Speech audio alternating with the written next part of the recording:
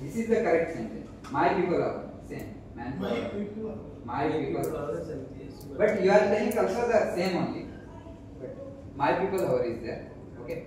So under the scheme we are already driving the Bhumika card celebration every month.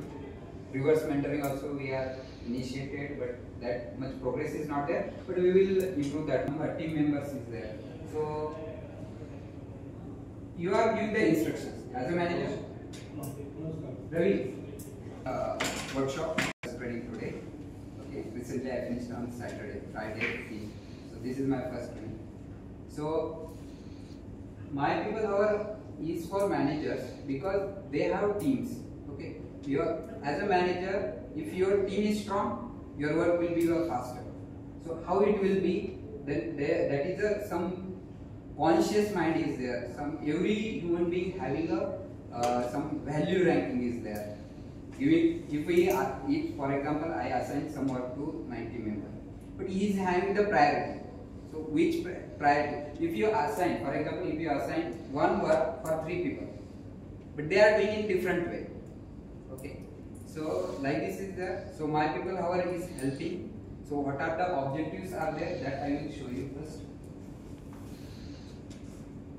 These are the objectives. So the main objective is you have to build a strong team. You have to build a strong team is in decision wise you have to train them. So what are the problems? Give the freedom for them decision making. Okay. So always be a support system for your team. Like this the motive is there. So how it will come? How when it will come and how it will come? Like these questions you in your mind. Okay.